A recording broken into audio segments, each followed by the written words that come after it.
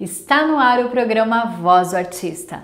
Não esqueça de deixar o seu like, se inscrever no canal e ativar o sininho de notificações para não perder nenhuma entrevista.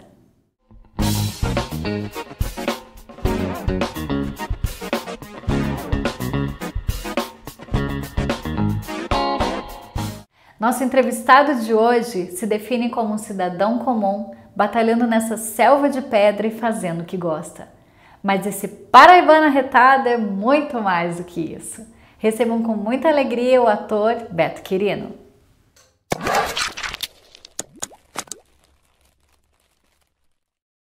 Seja muito bem-vindo ao programa Voz do Artista. De quem é a culpa por sua vocação pelo mundo das artes? Compartilha com a gente como tudo isso entrou em sua vida. Olá, minha querida Jennifer. Olá a todos que estão aqui participando do A Voz do Artista, onde o artista tem voz. Isso é muito bom. É, eu costumo dizer que a culpa, né, de eu ter entrado nessa história do ramo das artes foi do meu pai. Meu pai inventou de comprar uma televisão no final dos anos 60 para início dos anos 70.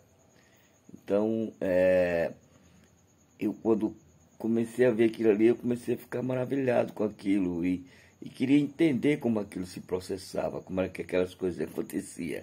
Então foi a partir daí que começou a minha curiosidade pela, pela questão artística e pelo lado cênico. Explica para os nossos seguidores o que significa aí na Paraíba a expressão cultural babau. Aproveita e conta como foi a sua introdução nos palcos. Bom, o babau é mais um dos de como é chamado, né, o teatro de bonecos aqui no Nordeste, né? Porque o, o teatro de bonecos é interessante porque em cada local ele tem um, ele é ele é conhecido por uma denominação. Então ele é conhecido como Babal, ele é conhecido como o Casimiro Coco, João Redondo, é, enfim, então é, é, aquele teatro de bonecos de luva, sabe? Aqueles que ficam assim na luva, não confundir com marionetes. Marionete é marionetes em tudo quanto é canto, mas o, o, o de, o de luva não. É, são vários nomes. Now, baby, listen, baby,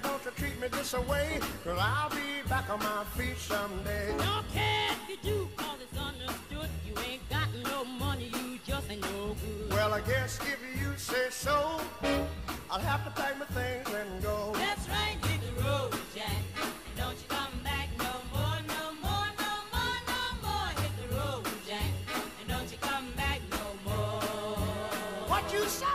primeiro contato que eu tive com teatro de bonecos foi na Universidade Federal da Paraíba, quando eu fazia educação artística. No curso de educação artística tinha uma disciplina chamada teatro de boneco. Isso lá pelos anos, no meados dos anos 80. Seu currículo conta com dezenas de trabalhos entre os palcos, TV e cinema. Queremos saber mais sobre sua trajetória artística e qual o trabalho mais emocionante nesses mais de 40 anos de carreira. Bom, eu comecei, né, a minha trajetória artística começou com praticamente de, de, de todos que entram na história do, do, do teatro, né? Eu comecei fazendo teatro na escola, né? E daí fui, fiz teatro de rua, fiz muito teatro de rua, né? Como já falei anteriormente, fiz também fazer o teatro de bonecos. E na televisão eu fiz um, o meu primeiro trabalho foi Amazônia de Galvez a Chico Mendes. De todos esses trabalhos, sabe, todos eles me emocionam, obviamente, todos eles eu tenho um carinho especial né? não tem uma coisa tão específica. Mas assim, dizer assim, qual o que mais emocionou? Para mim, não tem. Todos eles é, é sempre uma emoção diferente, é sempre uma coisa que a gente vai e a gente carrega para aquele determinado trabalho. Né? Se for dizer assim, o que é que diferenciou para mim foi o meu primeiro trabalho na televisão, obviamente, porque era um trabalho que eu estava fazendo para milhões de pessoas. Então, no caso, foi a Amazônia, a série Amazônia de Galvez a Chico Mendes. Com tantos e variados trabalhos, a nossa curiosidade é saber quais são as suas inspirações e como você compõe seus personagens. As minhas inspirações, eu sempre gosto de, de ver aqueles atores que ficam lá atrás, sabe? Aqueles atores que, que estão, que estão é, é, dando, dando apoio à história. Então eu admiro muito aqueles atores. Então minha inspiração sempre foi esse, esses atores, esses atores que, que carregam a história e que não aparecem muito, mas eles estão lá sempre presentes. Essa é a minha inspiração. E, e meus personagens eu busco é, é, pegar detalhes, pegando detalhes para depois eu formar o geral. Eu gosto, por exemplo, é, é, quando eu fiz é, Amazônia, como eu falei, eu fui fazer o sanfoneiro, então eu quis pegar detalhes, sabe, detalhes de, de como um sanfoneiro se comporta diante do seu instrumento, né? Quando eu fui fazer a, a duas caras que eu fazia um capanga, que eu fazia o um guarda-costas né, do, do, do Juvenal Antena, que era o Fagundes, eu, eu, eu fiquei assim, vendo como era que esse pessoal se comporta, como é que, sabe, são os seus, o, seu dia a dia. Então eu gosto muito das nuances, eu, eu me atento muito aos detalhes, que é para depois eu formar como um todo. Beto, há muito tempo você faz parte das produções da Rede Globo. Como chegou essa emissora e o que isso significa para a sua carreira? Eu cheguei à, Rede Globo através de um teste que eu fiz, né? um teste que eu fiz no, no Espaço Cultural, aqui em João Pessoa, e para mim foi, foi muito gratificante, tá? E, e chegar, sabe, no, no, no, num trabalho onde você é visto por milhões de pessoas, sempre é, é milhões de pessoas, sempre é gratificante. Tá? Então, a importância que tem né, esse, o meu trabalho é, é no sentido de que eu, eu gosto de fazer, eu, eu gosto de, de, de, de atuar, eu gosto de estar tá, tá sempre nesses meandros da arte cênica. E, e, a Rede Globo ela tem um peso essencial em novela, porque é, é produzida as melhores novelas do mundo, as melhores novelas do mundo, tá? Produzida pela Globo. E a Globo ela vende para praticamente 100, mais de 100 países as novelas são vendidas. Então, é uma satisfação no sentido de, de ver o nosso trabalho sendo corrido mundo afora. Só isso, acho que a questão para mim maior é essa. Onde é que você estava? Que eu fui atrás de você lá na margem e não achei. Pois não é que no meio do caminho atinei que não tinha me lembrado de tirar a roupa do varal. Voltei. Vi que ficou tarde, a dona Filó já podia ter ido embora. É, mas na hora que eu vim defumar, você não estava aqui, não. O que, que foi, Cesarino? Tá me botando debaixo de confissão, é? Tá desconfiado de quê, homem? Pra que, que eu ia mentir? Putz, perguntei só porque não lhe vi, ora. Aí, meu amigo, pode falar. Abra seu coração, diga. Foi isso mesmo, seu Juvenal. Bom, pelo menos no meu caso, sabe? Eu, eu passei a noite toda pensando. A gente tomou posse do canteiro de obras. Será que isso está certo? A corda não vai acabar se partindo pro nosso lado, já que a gente é o mais fraco? Aí eu pensei tanto que já estava desanimando. E agora com essa história dessa tal de falência... Justa. Roubaram um arquivo e o senhor nada. Moço, eu trabalho de dia. Deus me livre. Esse lugar é assombrado. Tá falando mais por quê? Fantasma é surdo. Onde está o arquivo? E quem garante que você viu tal arquivo, rapaz? Calma. Eu, eu sei muito bem o que eu vi, tá? Esse arquivo foi tirado de dia e o senhor ajudou a carregar. Cara de bode.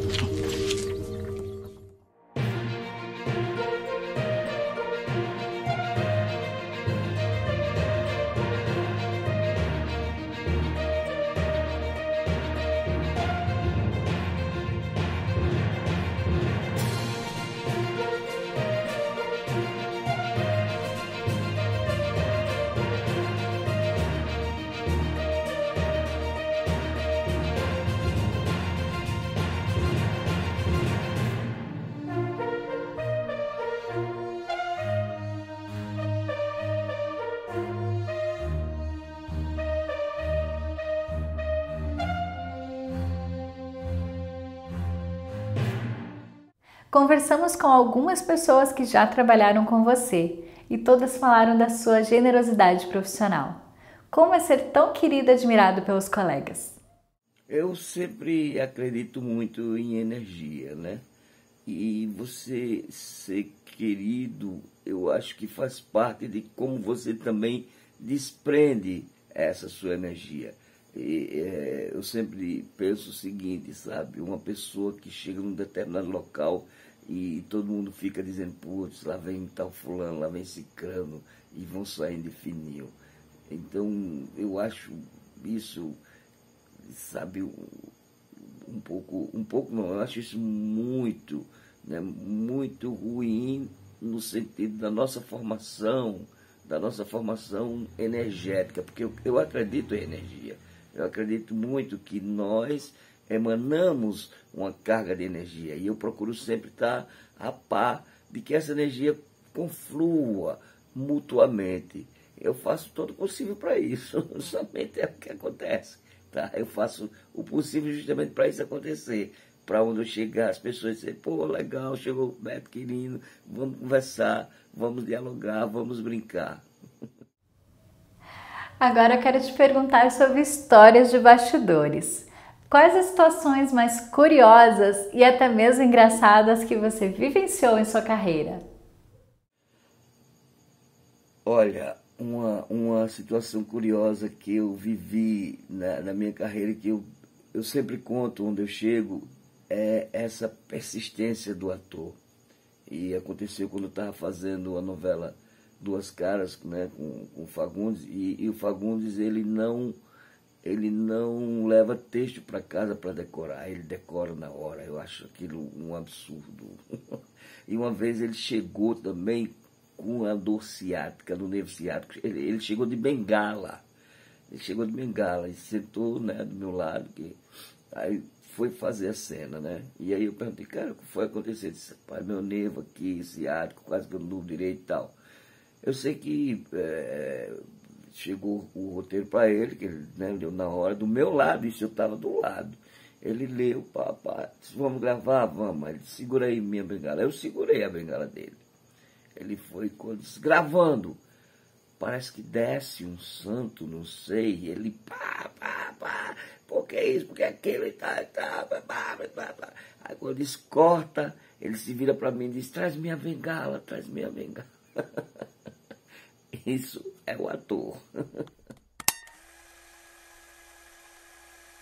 Se fosse possível voltar no tempo, qual evento histórico você gostaria de ter presenciado e qual personagem você representaria nas artes? Se fosse voltar no tempo para ver assim em que período, eu, eu gostaria de, de, de ver, né, de, de estar no tempo né, do martírio de, de, de, Cristo, porque eu queria é, ver como foi essa figura que revolucionou o mundo e que conseguiu dividir né, a história antes e depois dele. Então, para mim, é um, um, um, tempo que, que me fascina nesse sentido de como é que uma pessoa conseguiu fazer tudo isso e ainda levar hoje a mais de dois mil anos a sua história.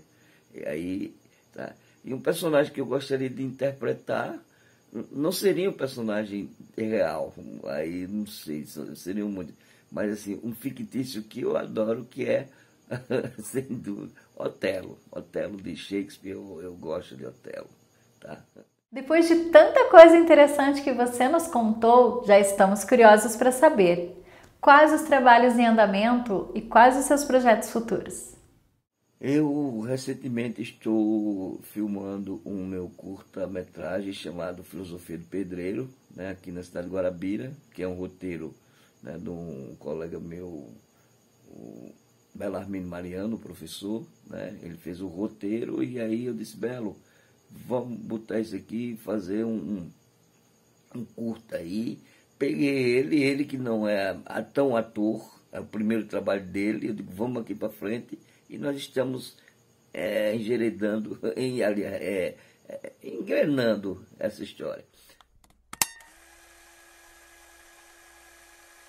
Teve é, trabalhos que eu fiz com o pessoal da Star Filmes, que para mim, sabe, é muito sempre prazeroso, né, que eu fiz. É, recentemente coloquei vozes no desenho animado de uma série de, de, de, da Star Filmes e também como os longas metragens, né?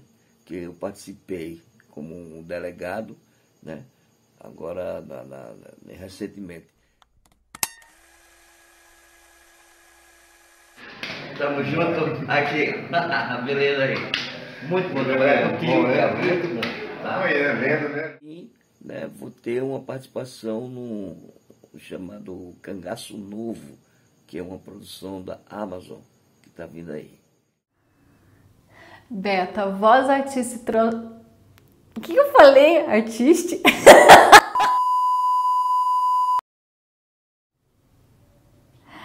Beta, a voz artista trouxe duas pessoas que desejam te mandar uma mensagem especial de carinho. Olá, meus amigos, é um prazer poder estar aqui na Voz do Artista para falar desse artista incrível que é o Beto Quirino. O Beto Quirino é mais do que um ator, ele é uma força da natureza.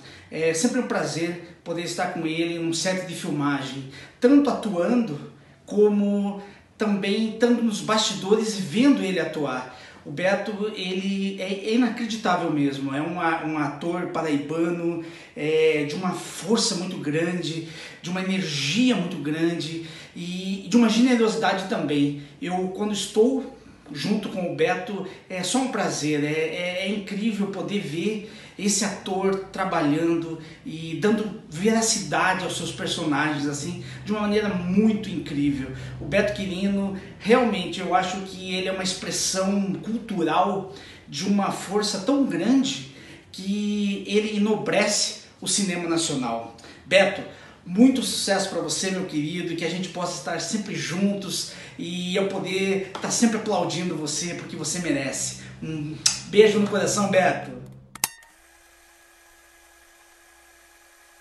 três filmes de longa-metragem com Beto Quirino. Né? O primeiro filme, que foi o Incursão, é, a gente convidou ele para fazer um personagem que tem que ser um personagem do sítio, matuto, uma pessoa simples, né? O ano passado o senhor sabe que deu aquele problema. Então isso que eu achei melhor vir aqui, que é para ter certeza, né?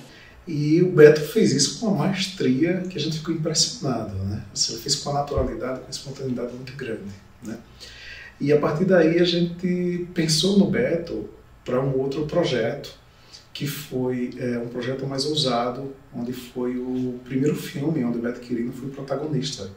Nada, padre, fui só levar a merinda na escola. Ela insistiu para eu ficar para o modo não voltar só.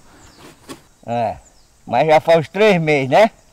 Quando a gente foi fazer o Vida Entre Folhas, é, eu tinha pensado no Fernando Teixeira, que é um ator, assim, um dos melhores atores do cinema paraibano, né?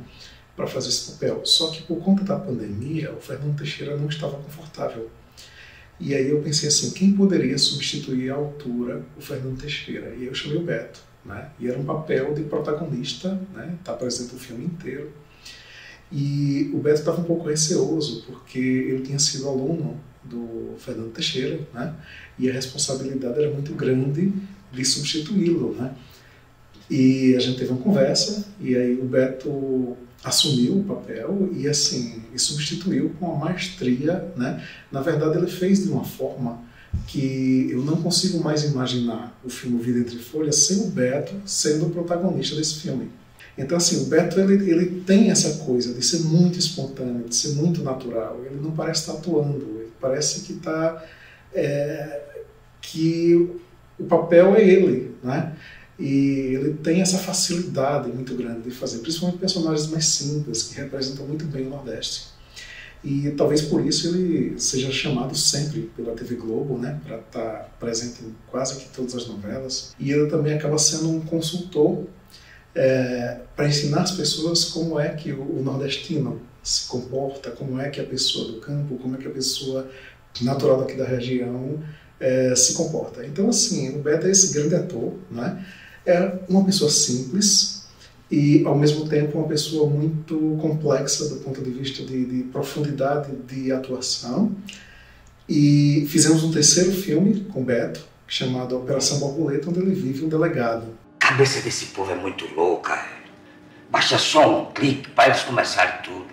E é assim, ó, uma linha fininha entre o bem e o mal. Então são três longa-metragens que filmamos com o Beto Quirino, né? Em todos eles o Beto dá show. E eu quero estar aqui para parabenizá-lo por ser essa pessoa é, muito eficiente profissionalmente e ser essa pessoa simples de convívio do povo, né? Então, eu acho que isso é uma grande é um grande trunfo do Beto Quirino, né? De ser um grande ator e, e continuar sendo uma pessoa simples e acessível. tá vendo como é sempre bom, é sempre bom a gente passar essa nossa energia, é sempre bom a gente estar presente com, com pessoas desses quilates, né? Queria agradecer muito a vocês, muito, muito de coração, e dizer que a recíproca é sempre verdadeira, tá? Ah, não tenho palavras para as palavras que eu ouvi. Beto Quirino, muito obrigada por sua entrevista. Foi uma honra ter você em nosso programa. Aprendemos muito com suas histórias hoje. Você faz parte do que temos de melhor em nossa cultura. Muito obrigado a você, Jennifer. Obrigado a todos né, que compõem né, a voz do artista e dizer que para mim a honra foi minha em participar é, é, com vocês e mostrando nosso, o meu trabalho, né, falando do meu trabalho, falando da minha trajetória, como também fazendo essa relação grande nesse país inteiro, nesse Brasil que é tão imenso, né, de norte a sul, de leste a oeste. E para mim não tem essa história de ah, do sul, do norte, do nordeste, tá, então eu acho que a gente é numa brasilidade, tá? Então, um cheiro, um cheiro para todos vocês. Agradecemos aos nossos parceiros Missara Semijoias e Espaço Clarete Nunes pelo look de hoje. Um beijo, coach, e até o próximo vídeo.